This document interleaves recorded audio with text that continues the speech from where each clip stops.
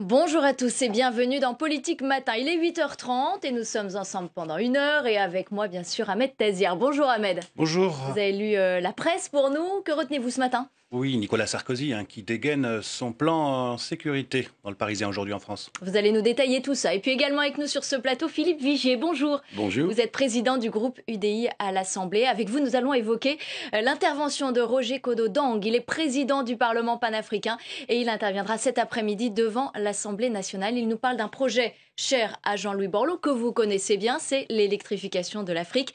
700 millions de personnes vivent sans électricité euh, sur le continent. À 9h, l'invité de la matinale, Gérard Longuet, sénateur Les Républicains de la Meuse, ancien ministre de la Défense. Quelle avancée dans le dossier syrien après la conférence de Vienne? La France est-elle reléguée au second plan? Que pense-t-il de la géolocalisation de Nicolas Sarkozy dans l'affaire Air Cocaïne? Nous lui poserons toutes ces questions. Et si vous aussi vous souhaitez l'interroger, faites-le sur Twitter avec le hashtag Polmat. Mais tout de suite, ce que nous avons retenu dans l'actualité de ce mardi 3 novembre. Un mois de la conférence pour le climat, la Chine s'engage sur un accord contraignant, accord qui sera révisable tous les cinq ans pour réduire encore les émissions de gaz à effet de serre et limiter le réchauffement climatique à 2 degrés. Un bond en avant pour l'Empire du Milieu, premier pollueur de la planète et pour la réussite de la COP 21. François Hollande juge un succès possible mais pas certain. On va écouter le chef de l'État. Il était tout à fait décisif que je puisse venir ici à Pékin pour euh, affirmer avec le président chinois notre volonté qu'il y ait un accord à Paris. Mais pas n'importe quel accord. Un accord ambitieux, un accord contraignant, un accord qui puisse être vérifié. Nicolas Sarkozy dévoile ses mesures sécurité avant même la convention de ce matin au siège du parti. L'ancien président déplore l'absence d'autorité de l'État et plaide pour 20 000 places de prison supplémentaires et un ministère de l'Intérieur qui regrouperait le pénitentiaire et les douanes. Il souhaite la prison pour tout Français de retour du djihad et des contrôles de vitesse assurés par les sociétés d'autoroute. Des aménagements sanitaires ordonnés par la justice à Calais. Elle a donné raison aux associations qui avaient saisi le tribunal en urgence la semaine dernière. L'État a huit jours pour créer 10 points d'eau supplémentaires, un ou plusieurs accès pour les services d'urgence et mettre en place un système de collecte des ordures et le nettoyage du site. La préfecture du Pas-de-Calais doit également recenser les mineurs isolés sous 48 heures. Le scandale Volkswagen prend de l'ampleur aux États-Unis. Les autorités américaines accusent le constructeur allemand d'avoir truqué les moteurs de ses modèles haut de gamme pour passer les tests anti-pollution. Le Porsche Cayenne ou les grosses cylindrées de chez Audi pourraient être concernés, ainsi que le Touareg. Volkswagen dément. On va feuilleter à présent les quotidiens qui reviennent sur des présidents hyper communicants.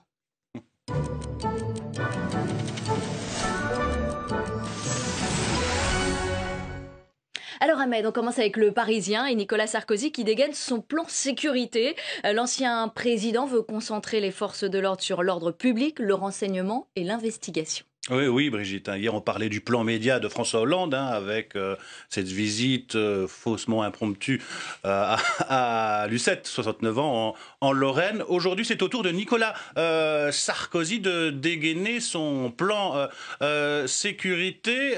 une interview exclusive aux Parisiens. Mais trouve la même chose, grosso modo, dans le Figaro. Euh, c'est ce qui s'appelle un plan média. Nicolas Sarkozy, il n'y a plus d'autorité euh, de l'État hein, avant la réunion de son parti aujourd'hui. Nicolas Sarkozy aborde dans un entretien accordé aux Parisiens aujourd'hui en France la question sécuritaire en, prônant un nouveau modèle redistribuant certaines tâches euh, secondaires la police et, de la police et de la gendarmerie afin que celle-ci se concentre sur le maintien de l'ordre, l'enquête et le renseignement. Il faut concentrer le travail de la police et de la gendarmerie sur l'ordre public, le renseignement, l'investigation et la libérer de toutes les tâches euh, secondaires ou périphériques, euh, estime ainsi euh, l'ancien chef de l'État. Sarkozy dégaine son plan sécurité. Par exemple, le chef du parti d'opposition propose de permettre aux employés d'autoroute de constater les infractions liées à la vitesse et de transmettre ces constats à l'autorité de police administrative ou pénale. Je ne vois pas pourquoi cela doit être exclusivement un motard de la gendarmerie ou de la police qui doit faire euh, les contrôles de vitesse sur un axe d'autoroute concédé par euh, l'État, se justifie-t-il? Euh, Désireux de renforcer certaines prérogatives, des forces de l'ordre, Nicolas Sarkozy dénonce dans les colloques du Parisien un affaiblissement de l'État et de son autorité, en prenant en exemple l'échec de l'intervention policière à Tarmac, en Corrèze, où vit Julien Coupa, un militant euh, libertaire soupçonné de sabotage de lignes SNCF sur des caténaires en, 2008. Une trentaine d'activistes ont empêché des fonctionnaires de police de perquisitionner, explique-t-il, avant de justifier les difficultés euh, des policiers liées à un manque de soutien de leur autorité, dit Nicolas Sarkozy.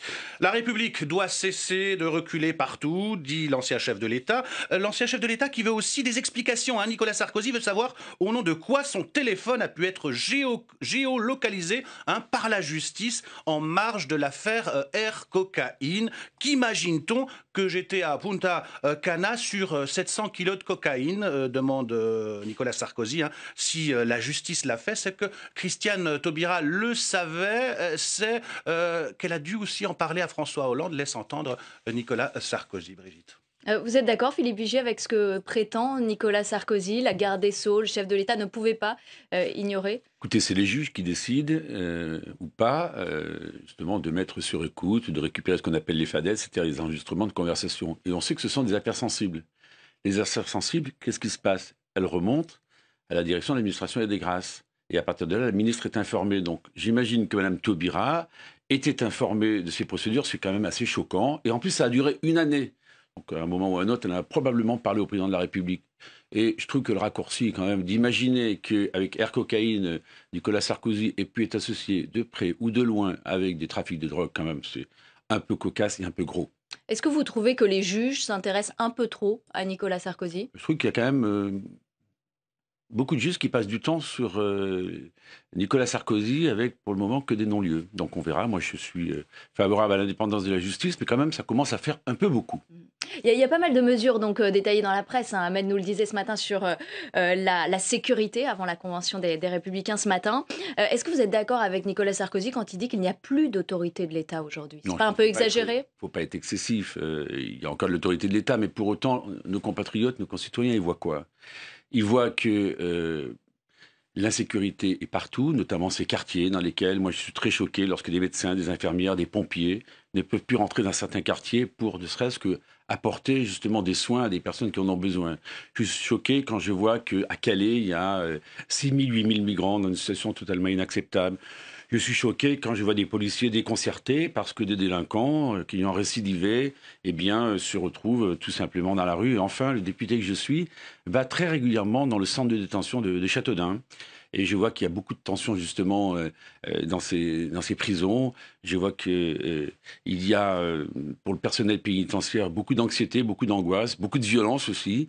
Ça veut dire que quelque part, la République, elle est aussi fragilisée. Donc il faut apporter des réponses. Mais chacun sait qu'en matière de sécurité, c'est pas l'empilement des lois qui crée le résultat. Il faudrait peut-être que là aussi, on écarte certaines lois. Par exemple, une qui me choque, et vous voyez, elle n'a pas été adoptée sous François Hollande, mais c'est Nicolas Sarkozy. Les détenus ne peuvent pas être fouillés lorsqu'ils rentrent dans ces centres de détention. Totalement invraisemblable.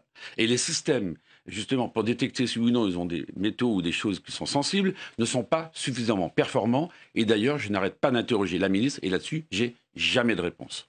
Est-ce que vous êtes d'accord avec cette proposition euh, d'emprisonner les Français de retour du djihad automatiquement? Ah oui, là, je suis tout à fait d'accord. Mhm. Écoutez, il y a des Français qui vont faire le djihad. Ils viennent ici pour faire une seule chose fragiliser la République. Et vous avez pu observer que le groupe UDI, dès que la République est fragilisée, nous sommes toujours solidaires de l'ordre public, toujours solidaires du gouvernement. Donc j'estime que ces personnes-là, soit s'ils sont français, on peut même proposer une déchéance de nationalité. Et en tout cas, je ne souhaite pas qu'ils soient en liberté. On sait que chaque fois qu'il y a eu des attentats, chaque fois qu'il euh, y a eu euh, pendant de longs mois euh, des traques, eh bien, on s'est aperçu qu'on avait les informations. Donc il faut qu'on se donne les moyens pour les intercepter. Ce sont quelques centaines d'individus. Ils ne peuvent pas mettre en péril la tranquillité et la paix de 65 millions de Français. On va poursuivre la revue de presse, Ahmed, avec dans le Figaro Christiane Taubira et sa politique pénale qui sont ciblées. Oui, Brigitte, hein, c'est bizarre, ça devait être une interview exclusive aux Parisiens. Eh la, la pensée, Nicolas Sarkozy a volé un du Parisien vers le Figaro. Justice, la droite veut en finir avec les lois Taubira. Hein. L'ancien président est une nouvelle fois monté au créneau contre l'actuel garde des Sceaux. Hein. Il y a un domaine dans lequel Christiane Taubira tient ses promesses. Le nombre de détenus a diminué en France depuis trois ans. Les délits augmentent et le nombre de gens euh, en prison diminué. Qui peut l'accepter demande Nicolas Sarkozy. Nicolas Sarkozy euh, repasse à l'offensive euh, sur le terrain de la politique pénale. Hein. vous en parliez, Brigitte et votre invité. Euh, parmi ces différentes euh, propositions, Nicolas Sarkozy milite euh, pour la mise en place de vigies de police dans les quartiers les plus difficiles, des quartiers où trafiquants de drogue qui ont réellement effectué leur peine de prison seraient interdits de séjour. Et puis la Chine et la France sont tombés d'accord pour parvenir à un accord contraignant, ambitieux à la COP 21, cette conférence sur le climat qui se tient fin décembre à Paris. Alors ces engagements feront l'objet d'un mécanisme euh, de suivi. Oui, conférence euh, climat, la Chine euh, s'engage, dit en une Ouest France. Hein, l'objectif est de limiter la hausse de la température mondiale en dessous de 2 degrés Celsius. Un bémol, les engagements devront faire l'objet d'une revue complète tous les 5 ans. Pékin s'engage aux côtés de Paris poursuit la montagne. Hein, avec euh, cette déclaration, nous avons posé les conditions qui nous permettent d'entrevoir un succès lors de la COP 21, dit le chef de l'État. François Hollande semble satisfait d'avoir trouvé un terrain d'entente avec son homologue chinois, Brigitte. Et ce matin sur euh, Europe 1, François Hollande dit c'est un succès possible, mais pas euh, certain. Vous êtes confiant, Philippe Vigier? Oh, je suis assez dubitatif. Je serais confiant à la si vraiment il y avait une seule condition qui pouvait être réunie, c'est que le plan énergie pour l'Afrique, électricité pour l'Afrique de Jean-Luc Borloo soit adopté pour la COP 21. Sinon, la COP 21, ça sera un flop. Ça sera uniquement des belles annonces. Voilà, on nous fait un théâtre, hein, on nous met des marionnettes dessus, on nous dit tout va très bien et on aboutira à rien. Donc là, il y a un vrai plan. Et là, vous attendez une décision du, chef de l'État? Hmm. Écoutez, on verra si le chef de l'État soutient, et si la France surtout soutient euh, ce plan énergie pour l'Afrique qui est vital. Comprenez une chose, il y a 1 milliard 200 millions d'Africains.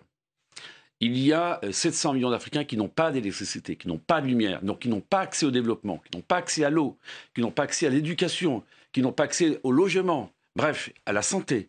Soit on est capable de porter un plan ambitieux, et à partir de là, on permettra à ce grand continent de se développer. Sinon, que se passera-t-il? Mhm. Ça sera des migrations massives, invasives, je dis le mot, de ces Africains qui partiront. Et donc aujourd'hui, à l'Assemblée nationale, il y a un moment très fort. On le doit à Jean-Louis Borloo, qui a su, comme il sait magnifiquement bien le faire, réunir toutes les forces politiques. On va entendre Jean-Louis Borloo dans un instant. On finit à présent euh, la revue de presse avec euh, euh, le projet de loi de finances qui prévoit de, de, diminuer des aides pour les adultes en incapacité de travailler lorsqu'ils ont un livret A. Une pétition a déjà réuni 20 000 signatures. Oui, euh, c'est à lire dans euh, Libération, euh, l'histoire de Thierry, à 31 ans, paniqué, il a clôturé son livret A et transféré ses 13 500 euros d'économie sur son compte courant. Cet argent, je l'ai mis de côté pour m'aider si ma, maladie s'aggrave. Thierry vit avec une allocation aux adultes handicapés mensuelle de 800 euros, à laquelle s'ajoutent 180 euros versés aux personnes comme lui en, en incapacité totale de travailler.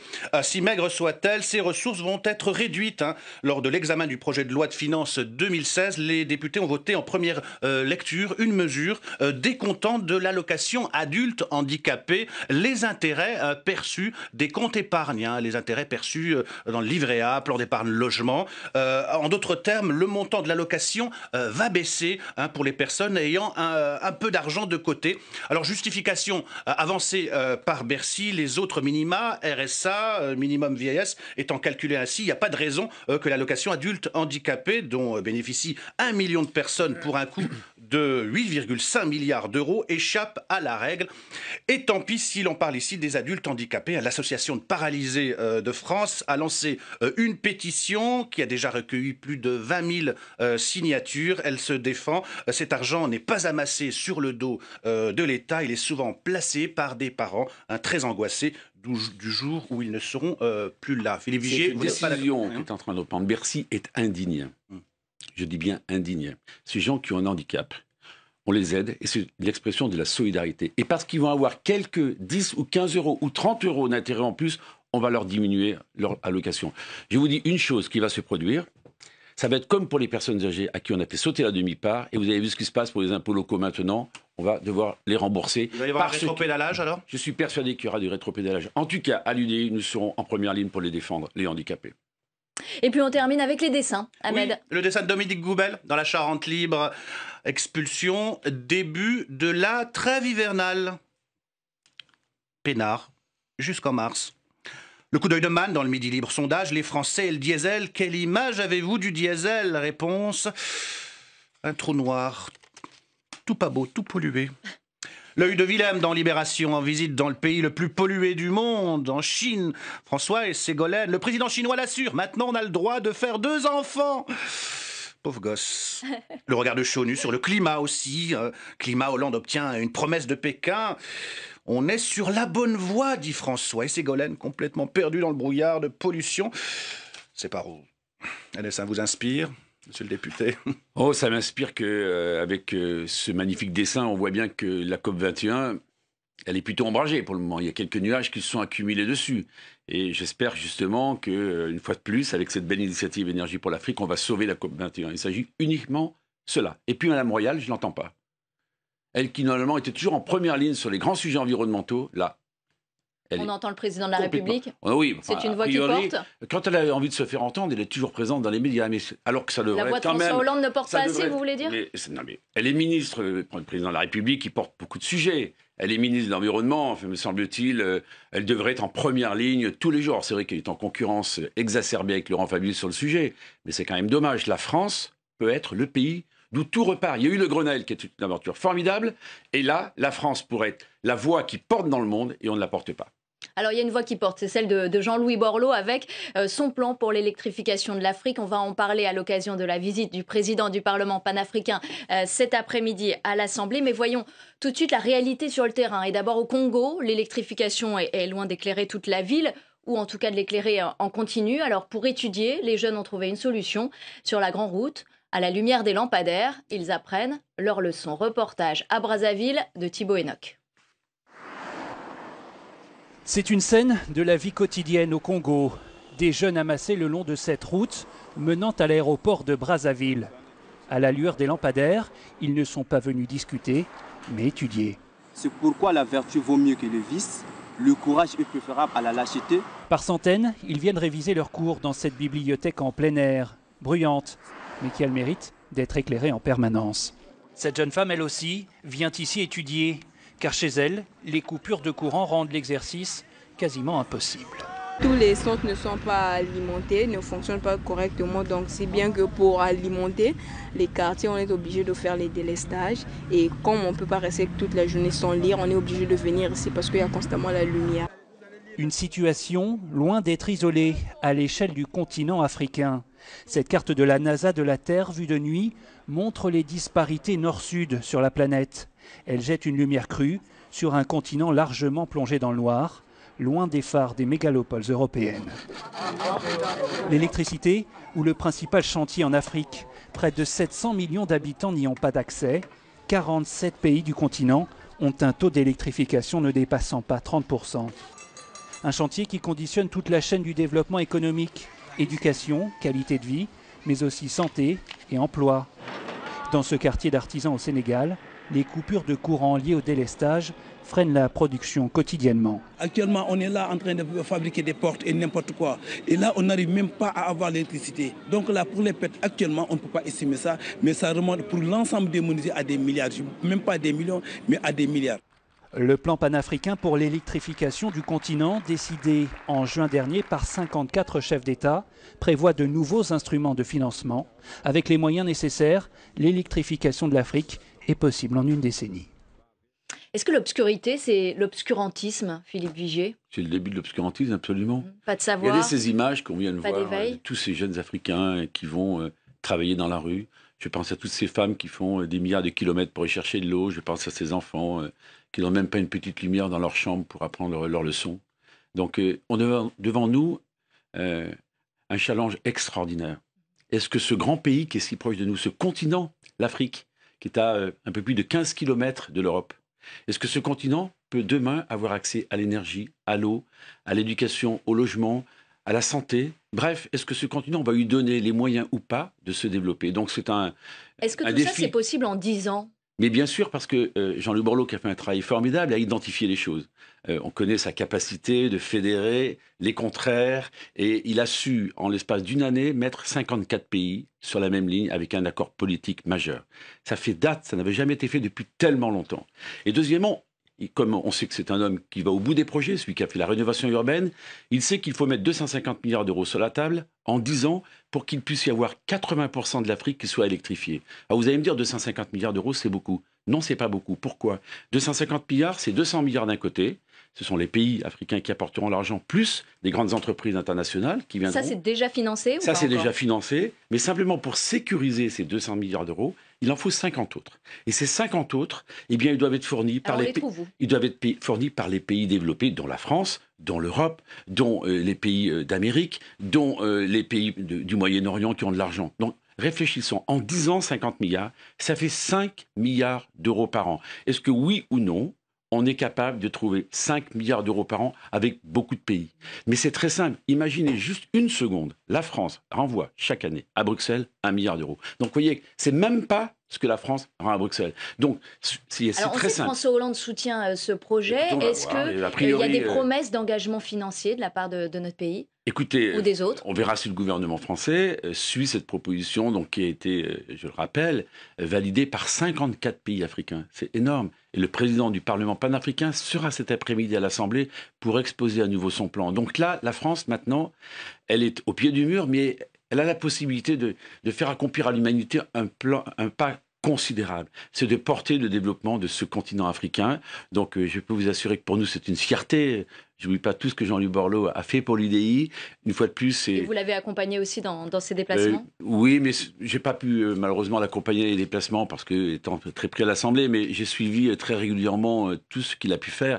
Et je voudrais vous dire qu'en plus, le groupe parlementaire, le jeudi 26 novembre, dans quelques jours, aura une journée d'initiative parlementaire où il y aura une proposition de résolution pour qu'il y ait du co-développement. Eh bien, donc, c'est un relais de cette belle initiative Jean-Louis Borloo. Il y a même le 23 novembre prochain, c'est Bertrand Pancher, un de mes collègues députés, qui organise un colloque également sur le co-développement. Il faut comprendre s'il n'y a pas de développement. Ce sont des migrations massives. Ça sera Alors, 100 cette- fois plus important que les migrations que nous connaissons parce que ces jeunes, ils vont aller où? Ils ont le droit à l'éducation, ils ont le droit à l'eau, ils ont le droit au savoir, ils ont le droit à la santé. Ils vont quitter massivement l'Afrique et ils viendront où? En Europe. Donc nous le disons avec force, soit ce plan réussit. Et à ce moment-là, c'est le chemin de la paix qui est tracé et le chemin du développement pour l'Afrique. Soit ce plan de Jean-Louis Borloo échoue, si la France ne le relaie pas, si l'Europe ne le relaie pas, si le monde ne le relaie pas. Et à ce moment-là, j'annonce des migrations massives et une déstabilisation géopolitique. Alors, je propose qu'on qu'on écoute Jean-Louis Borloo euh, sur euh, son plan d'électrification de l'Afrique. Est-ce qu'on peut imaginer que ce continent jeune, extraordinaire, de plus d'un milliard d'habitants, a près de 700 millions de personnes qui n'ont pas d'accès à l'électricité, à la lumière? C'est l'accès à l'eau, c'est l'accès à, l'emploi, c'est l'accès à l'éducation, à la santé. Enfin bref, c'est pas, pas imaginable.